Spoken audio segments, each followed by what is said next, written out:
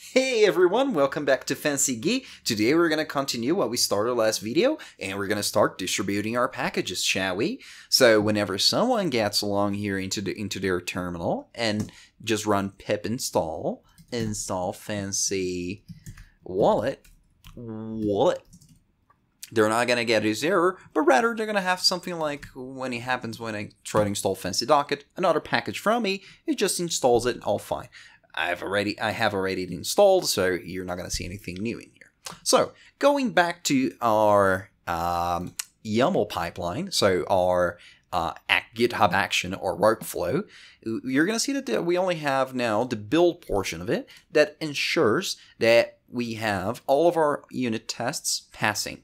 So what we need to do here is actually add another job. So I'm going to just steal it out from here and just let's just call it a release because we're going to be releasing it to the outside world.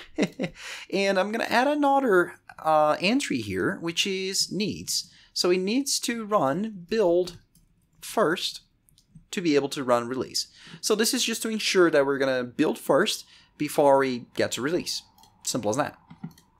Also, from the steps, we still need to check out our code. We still need to set up Python, but we do not need we don't need to run those things in here. So what we can do now is use something different. So remember when I said last video that you could just, you know, uh, Google some GitHub actions that could do stuff for you? Well, guess what? This is what we're going to be using today. So uh, there are two GitHub actions that I'm going to show you today, uh, and you can search for your own. It's it's great to do your own due diligence into what you're going to be using. But I do love this Casper DCL deploy PYPI uh, action, which all that it does is actually using Twine and uh, getting the wheel. If you don't understand what that means, all that it's doing is just building the package for distribution and then pushing it to PYPI using a tool that already does it. So instead of doing all that by hand, all I'm going to be doing here is actually just, you know, stealing what Casper already did for us. um, it's not stealing, he's sharing it with us, of course. Um, he also does a little bit of a uh, check here when we want to upload. I'm not going to use this, this, example that he, he's doing in here. I'm going to use another one. But all we have to understand here is that it is expecting us to pass a PYPI token, which we're going to create, and it runs a pip uh, wheel distribution um, uh, install of the package to actually distribute. That's that's what it does really. So let's copy that over and let's add that to our pipeline. And that should be it to actually distribute. Why do I say that that should be it? Because if we go back here in setup.py, it already gives us the name of the package, which is the one that is going to be used to distribute uh, whenever installing using PYPI. Um, that should be fine. A fancy wallet like that. Perfect. So, uh, but it does reference here using the dollar sign and the double curly brackets a secret called PYPI token. So we have to create that one beforehand. So let's go into PYPI. You're going to log in or create your account, and you're going to see that I don't have that project of Fancy Wallet yet. Uh, don't worry about it. So what we can do we can create a token here for the entire account. This is going to be temporary. Don't do that for, for your, your project later on. So the way that you would do that, you would actually create a new token here. As you can see, I did do it a lot. So let's add a token. This is going to be a temp token. Temp fancy wallet.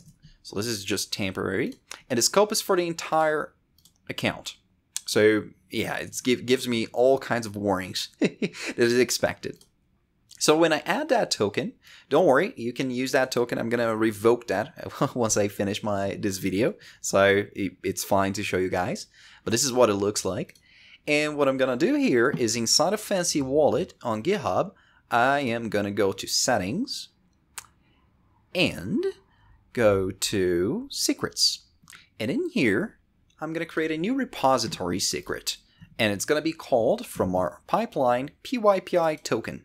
So this is the name, PYPI token. And then we just put the value right here. That's all you have to do. So now that we have a token here that is already set. Uh, this action here, this is this, yeah, it is an action. It's going to be able to just grab our token, authenticate against PYPI, and then push our package for the first time. You're going to see how simple that is actually. So let's uh, just grab out our uh, our Git repo. So here it's just doing the release of it. Let's commit that, releasing.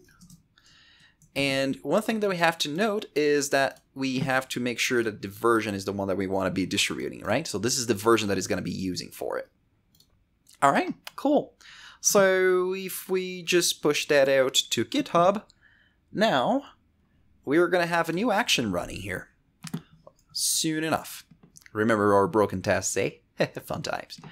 So now now that it's releasing, first it's going to try to run build, and this is because we said that release needs build, so it does that relationship. So it's going to try to build, it's going to try to run the tests that we defined before, and soon enough, very good, very good, all right, it's going to try, it's going to run the build, and now the release. So if we just wait for a little while here, setting up the job, rolling the drums. Come on. Come on. Yeah, that takes a little while, eh? What is it doing? Ah, right. So it is actually running the the um, deployment. So it is going to create a wheel. There we go. That was it. So if we go back to my projects now, Fancy Wallet's here. So if we try to install it, so pip install fancy wallet. Guess what? It's gonna fetch that out from PYPI. So it's now distributable. Um, everyone now that can sees my YouTube videos, all of you guys, you can all download my fancy wallet CLI.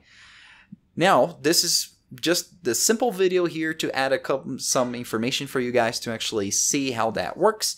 And in the next video, I'm going to show you how to, you can actually uh, ensure that whenever you you're publishing something in PYPI, you also have a release on GitHub so people can actually see what you've done.